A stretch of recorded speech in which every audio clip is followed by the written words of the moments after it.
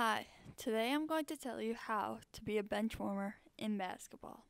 Step 1 Make the team. You can't be a bench warmer if you're not on the team. So, in tryouts, look to see when the coaches are looking at you so you know when to actually try. Step 2 Put your skills to rest. Because if you show off those skills, then you could be at risk of starting, and you don't want that.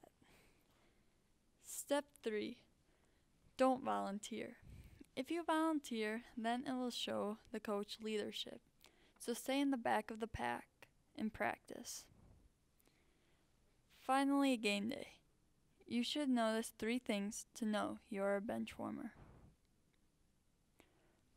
1. Spend most of the time on the bench watching, and you are the loudest one cheering.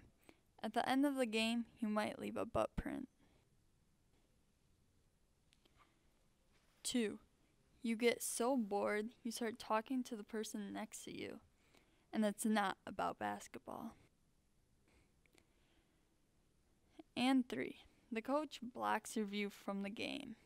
We know that this happens to everyone, but mostly you. And that's how you become a bench warmer.